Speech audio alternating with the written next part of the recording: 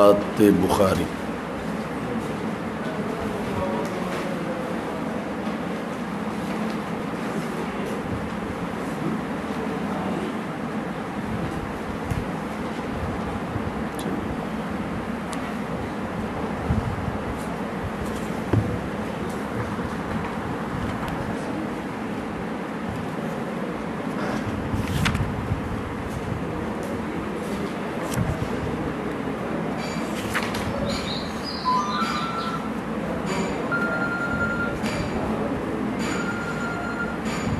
اس کا ذوالقرنین کا ذوالقرنین ہوا تو بات کرا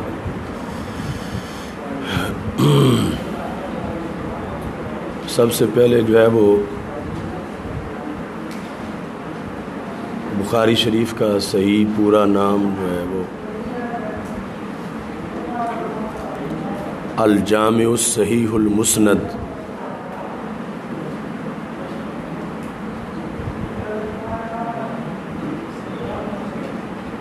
الجامع الصحیح المسند من حدیث رسول اللہ صلی اللہ علیہ وسلم۔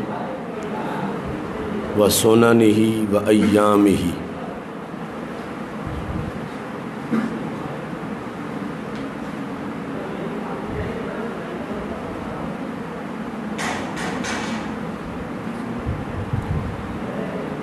الجامع الصحیح المسند من حدیث رسول اللہ صلی اللہ علیہ وسلم و سنن ہی و ایام ہی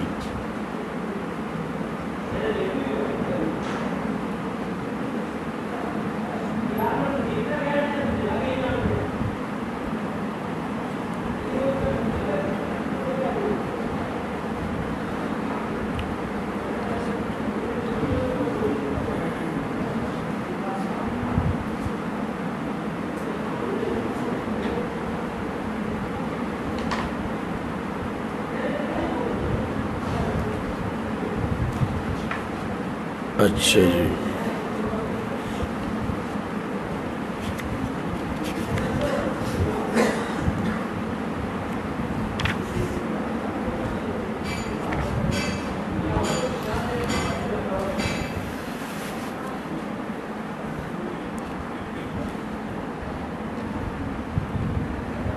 تو یہ نام مکمل جو ہے وہ یاد رکھنا ہے۔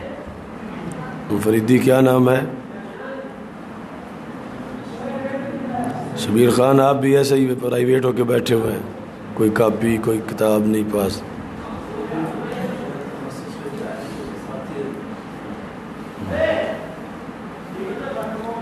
اچھا جی۔ اکبر، آپ بتائیں کیا نام ہے؟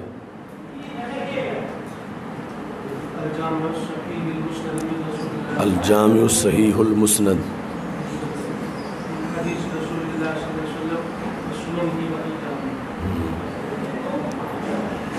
اچھا جی۔ نمبر ایک۔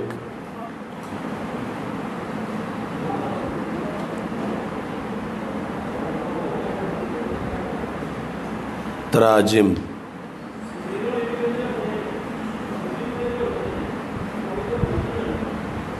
ایک تو ترجمہ کا مطلب ہوتا ہے نا ٹرانسلیشن۔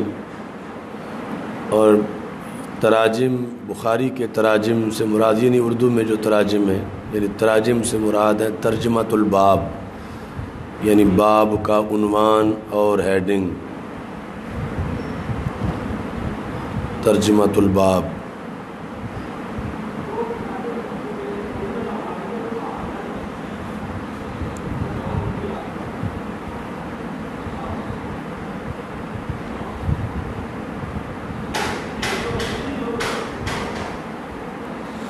کسی بھی حدیث کی کتاب کے ترجمت الباب اتنے عمدہ اور جامع نہیں ہیں جتنے بخاری کے ہیں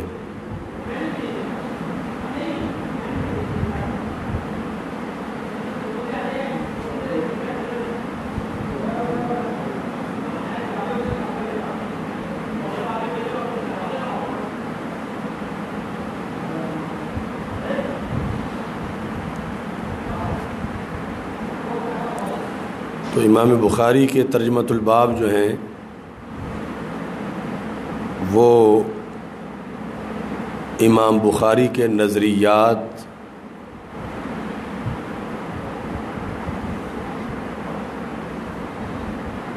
کے ترجمان بھی ہیں اور جو نیچے احادیث ذکر کی گئی ہیں ان سے امام بخاری کا استدلال بھی ہیں۔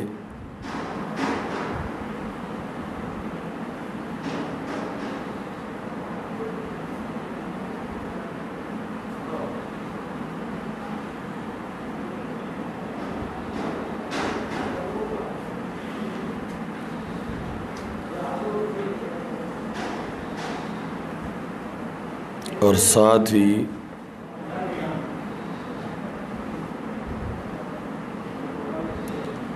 احادیث کی تشریحات بھی ہیں۔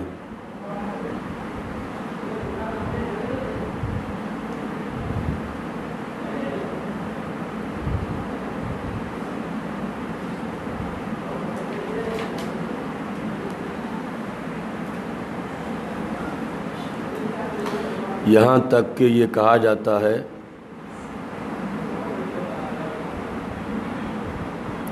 فقہ البخاری فی تراجے میں ہی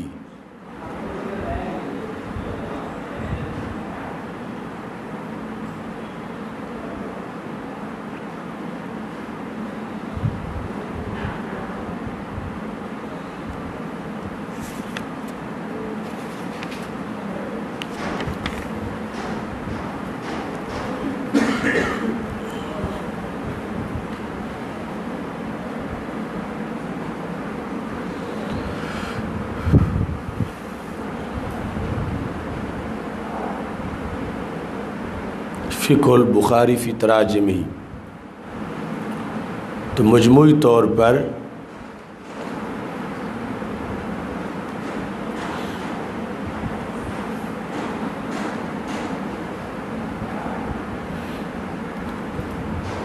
بخاری شریف کے تراجم کی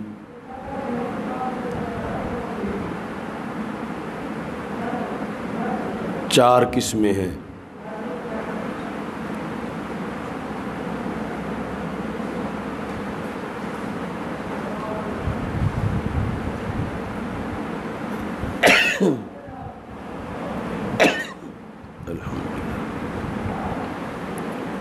نمبر ایک تراجم غیر مجردہ۔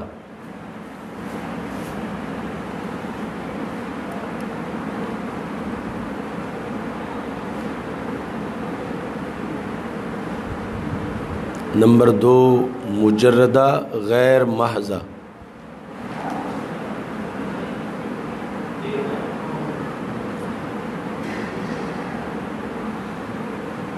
نمبر تین مجردہ محضہ سوریہ۔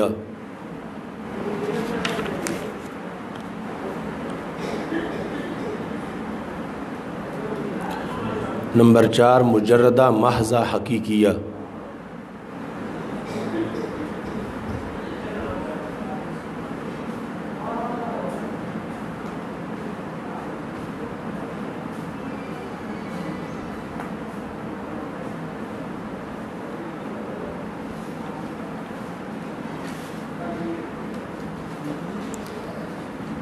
اکانی صاحب کو پڑھیا سبق؟ حاضری لگی تھی ٹیڑے غیر حاضر نے۔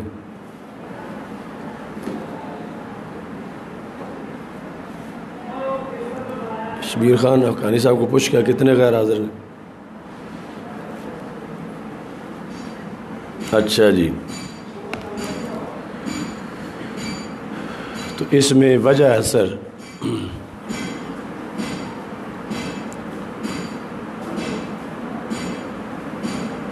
یہ جو لکھایا جا رہا ہے تو یہ پوری بخاری کو سمجھنے کا مقدمہ ہے۔ تراجم کے تحت حدیث مسند مرفوع مذکور ہوگی یا نہیں ہوگی؟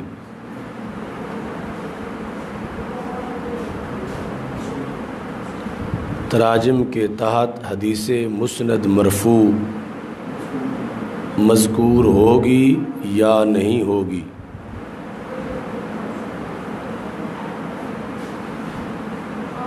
اگر مذکور ہے تو قسم اول؟ یعنی تراجم غیر مجردہ۔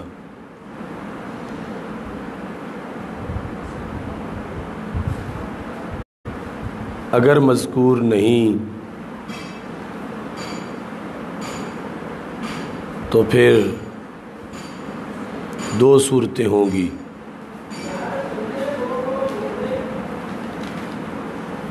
کہ اس حدیث مسند مرفوع کی بجائے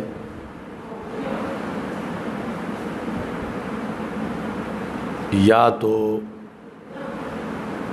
کوئی آیت کریمہ، آیت قرآنیہ، حدیث غیر مسند اثر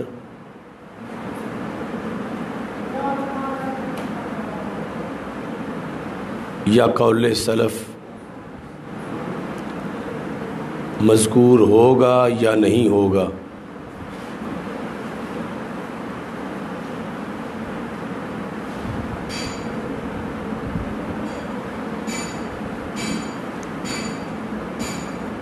اگر ہے یعنی حدیث مرفوع تو نہیں ہے، لیکن غیر مرفوع ہے، یا قرآن کی آیت ہے، یا قول صحابی ہے۔ ترجمہ الباب کے بعد بعد یعنی ہیڈنگ عنوان کے فوراً بعد۔ اگر ہے تو یہ قسم دوم ہے؟ مجردہ، غیر محضہ۔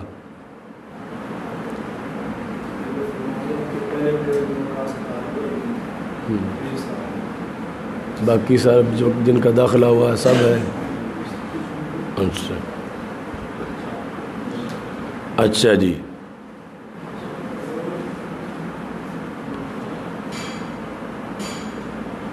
اگر ہے تو قسم دوم مجردہ غیر محضہ۔ اگر نہیں یعنی نہ حدیث مسرد مرفوع ذکر ہے، نہ غیر مرفوع ذکر ہے۔ نہ ہی آیت قرآن ذکر ہے، نہ ہی قول صحابی ذکر ہے۔ اور نہ ہی قول سلف ذکر ہے صحابہ کے بعد کے کسی کا۔ تو پھر دیکھیں گے کہ خود ترجمہ الباب کوئی آیت قرآنیہ ہوگی یا نہیں ہوگی۔ پہلے تو بات ہو رہی ہے ترجمہ الباب کے نیچے اب یہ ہے کہ خود ترجمہ الباب کوئی آیت قرآنیہ ہوگی یا نہیں ہوگی۔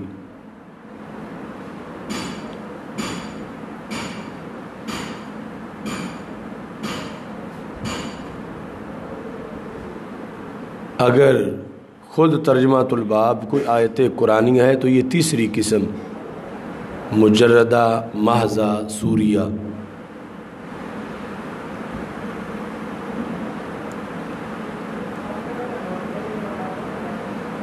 اور اگر ایسا نہیں ہے یعنی ترجمہ الباب کوئی آیت قرآنیہ نہیں ہے،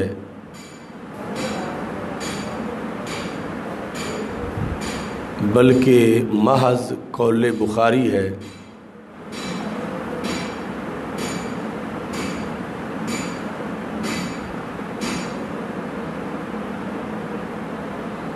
تو یہ قسم چارم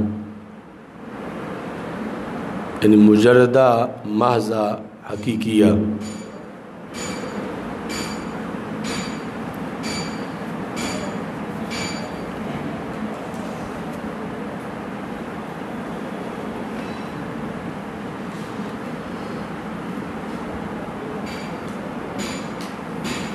تو یہ چار قسمیں اور ان کی وجہ حسر اب ان کی مثالیں ہیں۔ اچھی طرح ان کو یاد کرنا۔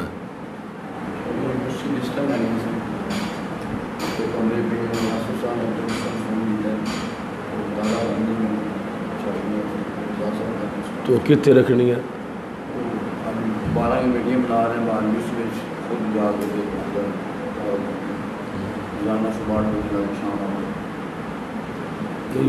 U C the list U C چ رکھنی ہے نا، دفتر میں یو سی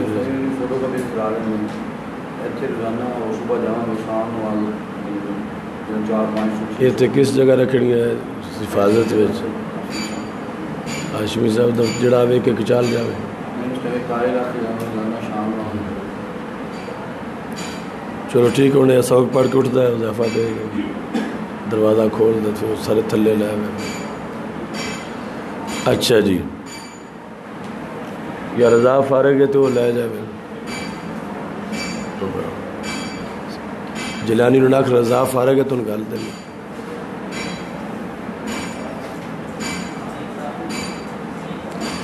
اچھا جی۔ اب اپنی کتابیں سامنے رکھو، آپ کو اس کی تطبیق کرائیں مثالیں دے کر۔ آپ حضرات کی کتابیں کدھر ہیں؟ کتابیں پاس ہوں گی تو پھر آپ کو سمجھ آئے گی کہ یہ اس طرح ہے۔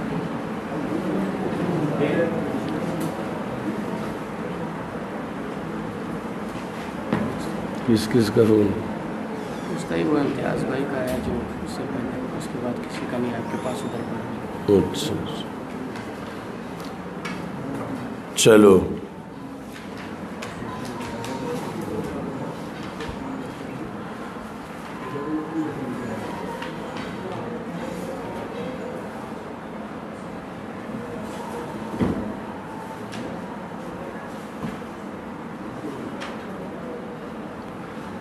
وجہ سر۔ سائیں۔ کیا نام اس کا؟ وجہ سر زبانی سنا سکتے ہو؟ وجہ سر۔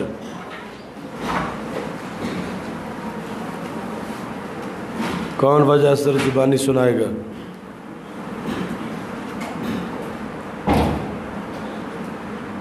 تو سنتے ہی صحیح یاد کر لینی چاہیے۔ اتنی جامع وجہ سر ہے۔ اچھا جی۔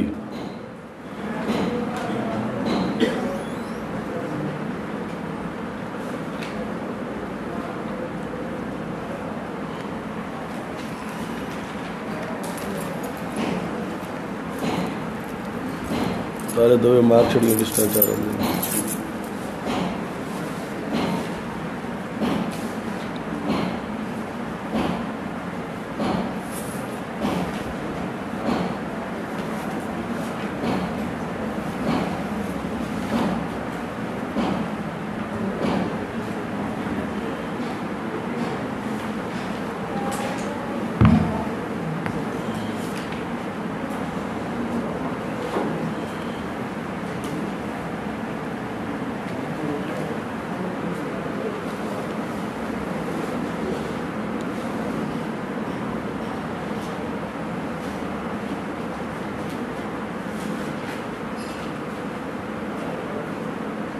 جو سب سے پہلی قسم ہے وہ تو عام رائج ہے بخاری میں کہ ترجمۃ الباب کے تحت حدیث مسند موجود ہو۔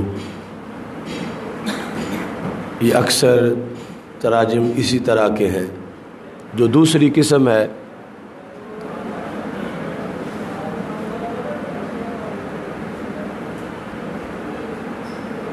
کہ حدیث مسند تو موجود نہیں ہے ترجمۃ الباب کے تحت۔ مگر آیت قرآنیہ موجود ہے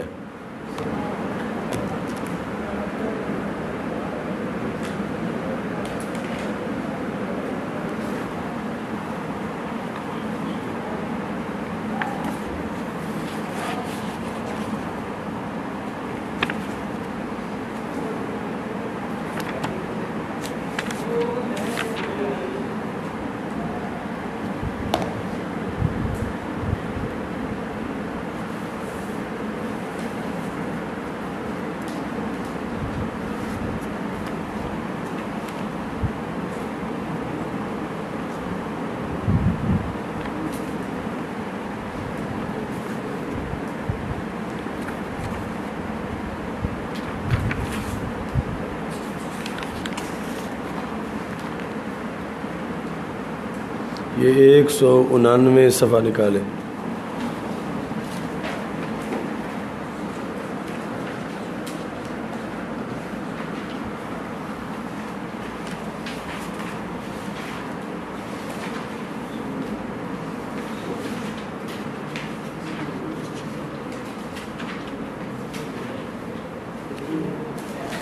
صاحب نے نکال لیا ہے، اناسی نکالا یا انانوے نکالا ہے؟ ایک سو انانوے میں نچلے حصے میں ہے باب الریا فی صدقات۔ نیچے پانچ چھ لانے چھوڑ کے اوپر نظر آ گیا ہے۔ باب الریا۔ اس کو ہائی لائٹ کر لیں، آپ کے پاس کوئی ہائی لائٹر نہیں ہے۔ اب باب الریا فی صدقات، آگے اس کے اگلا باب ہے باب لا یکبل اللہ صدقہ۔ وہ بھی نظر آ رہا ہے نا؟ تو درمیان میں پورے ایریے میں کوئی حدیث مسند مرفوع موجود چیک کر لو نا ایک باری۔ کوئی حدیث نظر آ رہی ہے؟ تو ترجمہ الباب ہے باب الریا فی صدقات۔ یہ ترجمہ الباب۔ آگے ترجمہ الباب کے نیچے نیچے جو ایریا ہے وہ اگلے باب تک سارا نیچے ہی ہے۔ ترجمہ الباب کے نیچے ایک بھی حدیث مسند مرفوع موجود نہیں ہے۔ لہذا یہ پہلی قسم کا ترجمہ الباب نہیں ہے۔ اب آگے حدیث تو نہیں ہے، مگر آیت قرآن ہے۔ آیت قرآن، نظر آ رہی ہے نا آیت قرآن؟ لقوله تعالی یا ایو الذین آمنوا لا تبتلوا صدقاتکم لا تبتلوا صدقاتکم یہ نظر آ رہی ہے، آگے بھی آیات ہیں تو یہ پھر کون سی قسم بنی؟ دوسری. نام دوسری کا کیا ہے؟ دوسری قسم کا کیا نام ہے؟ ہاں. تو یہ آپ کو جو بتائی تھی وجہ حسر، وہ منطبق ہو گئی کتاب کے اندر کہ ایسا ہوتا ہے اور یہ یعنی سب سے زیادہ ترجمت الباب ہیں پہلی قسم کے۔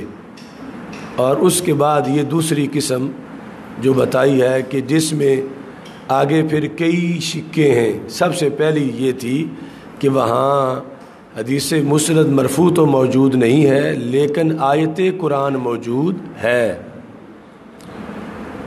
اچھا جی۔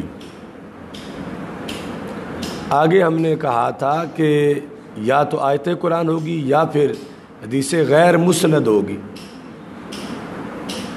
یا کیا ہوگا حدیث غیر مسند؟ یعنی معلق اس کی سند نہیں ہوگی، غیر مسند ہوگی۔ تو پھر بھی وہ کون سی قسم بنے گی؟ دوسری۔ یعنی دوسری میں کئی سکے ہیں نا۔ آیت قرآن ہو، پھر بھی دوسری ہے۔ اور حدیث غیر مسند ہو پھر بھی، قول صحابہ ہو پھر بھی دوسری ہے۔ تو اب اس کی مثال دیکھو کہ پہلی قسم تو نہیں ہے یعنی حدیث مسند مرفوع نہیں ہے، مگر اس میں آیت قرآن بھی نہیں ہے۔ اور حدیث غیر مسند ہے۔ تو پھر بھی کون سی قسم ہوگی؟ نام دوسری کا کیا ہے؟ اچھا جی۔ اب ایک سو نو صفحہ نکالیں۔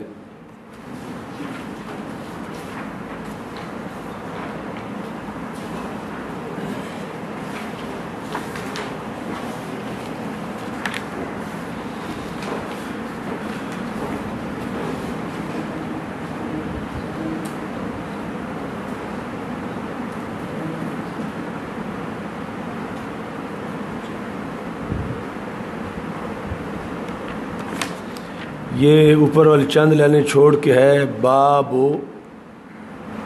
باب استوا فر رکوے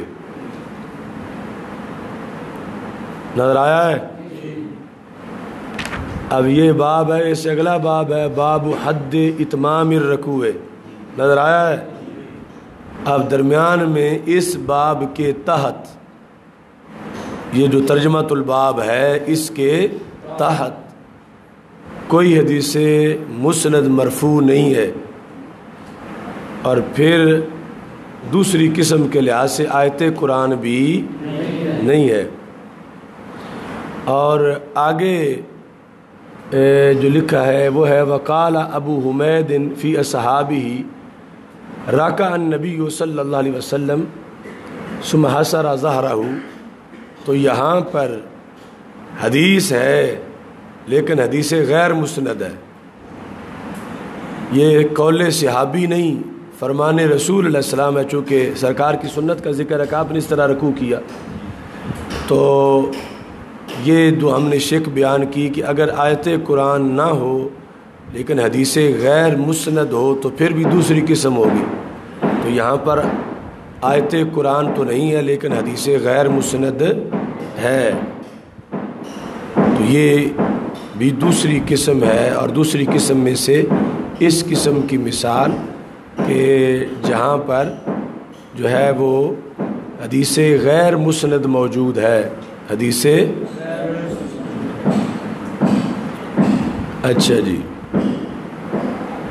اس کے بعد ہم نے کہا کہ اگر نہ آیت قرآن ہو، نہ حدیث غیر مسند ہو، لیکن وہاں پہ قول سلف ہو۔ اب قول سلف میں قول صحابہ بھی ہے اور تابعین بھی ہے، تو طب تابعین بھی ہے۔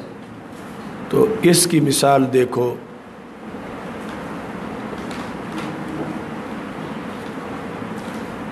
ایک سو انتیس صفحہ۔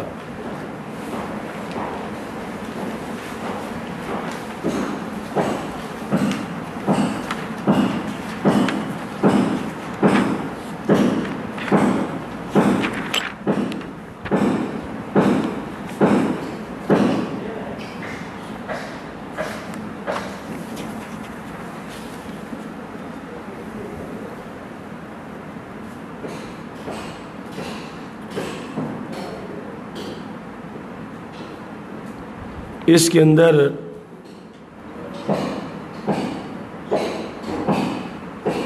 باب ہے، نیچے سے چند لائنیں چھوڑ کے، باب و صلاط طالب والمطلوب راکبن و ایمان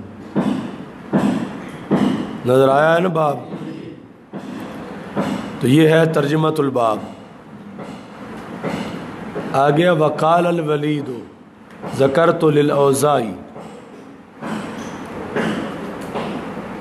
اچھا جی۔ یہ ذکر ہے۔ تو اس میں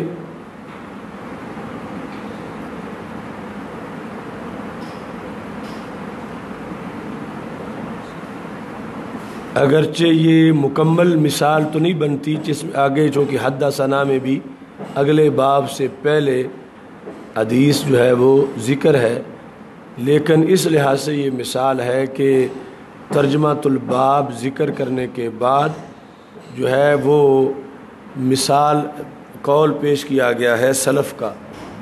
وقال الولید سے سلف کا قول پیش کیا گیا ہے۔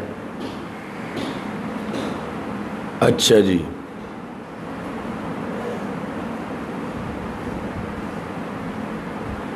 لیکن چونکہ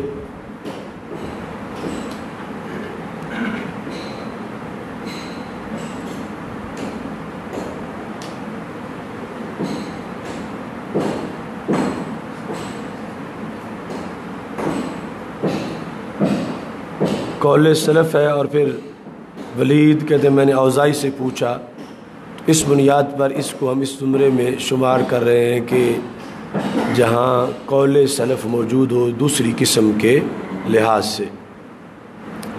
اس کے بعد اگر ان میں سے کچھ بھی نہ ہو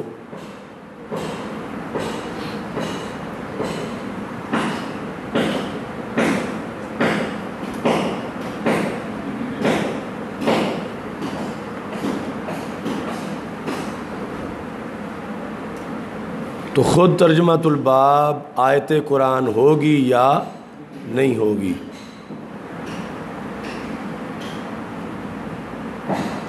یہ چار سو پینسٹھ صفحہ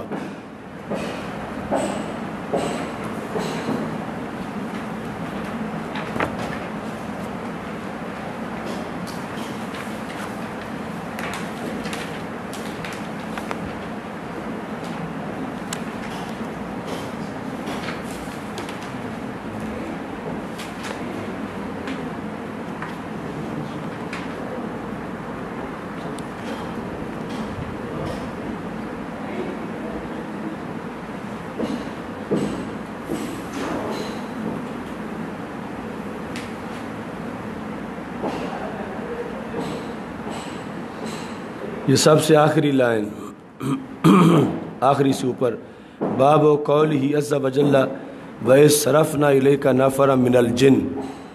نظر آیا؟ اگلا باب ہے باب و قول اللہ عز وجل۔ اور درمیان جو ہے وہ یہی ہے کہ ترجمۃ الباب کیا ہے؟ خود آیت قرآن ہے۔ ترجمۃ الباب خود آیت قرآن ہے۔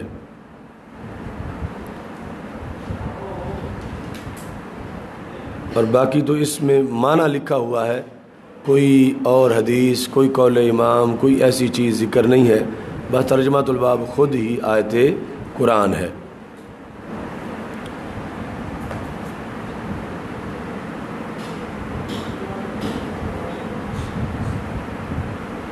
اگر یہ بھی نہ ہو تو یہ چوتھی قسم، اس کے لیے ایک سو سینتیس صفحہ نکالو۔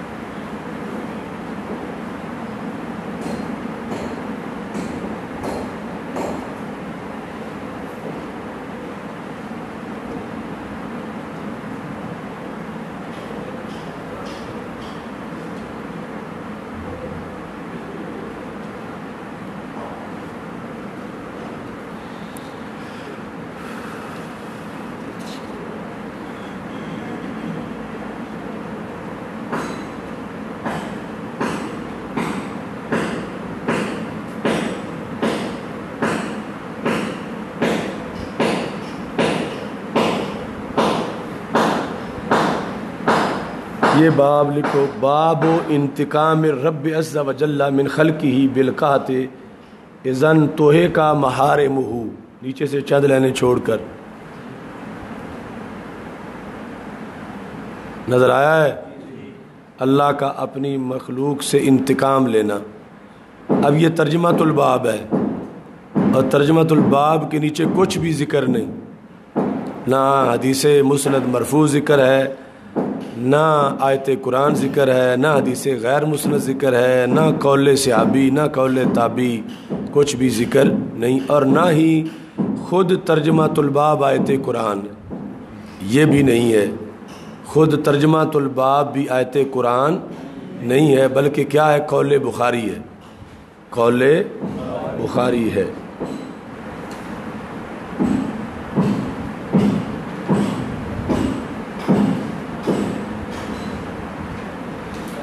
تو یہ یعنی پوری بخاری کے ترجمہ الباب کے لحاظ سے وجہ حسر اور اقسام کی تعریف اور پھر تطبیق یہ ساری آج کے سبق میں آپ نے پڑھ لی ہے۔ پڑھ لیا یا نہیں پڑھی؟ اچھا۔ چلو، اس کو اچھی طرح یاد کرنا ہے۔ دعا کرو الحمد للہ رب العالمین والعاقبۃ للمتقین والصلاة والسلام علی رسول کریم واستغفر اللہ، لا الہ الا اللہ وحدہ لا شریک له له الملک وله الحمد وهو على كل شيء قدیر اللهم بارک اللهم بارک اللهم بارک. اللهم انصرنا فإنك خير الناصرين اللهم انصرنا فإنك خير الناصرين اللهم انصرنا فإنك خير الناصرين صلی اللہ تعالی علی حبیب سیدنا محمد. یا رحمت